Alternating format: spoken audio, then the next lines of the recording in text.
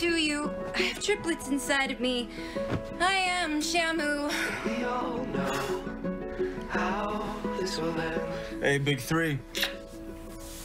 Do you three know how much I love your mother? I mean, do you even have any idea? Yeah, we do. Now shut up and let your fat ass wife go to sleep. No.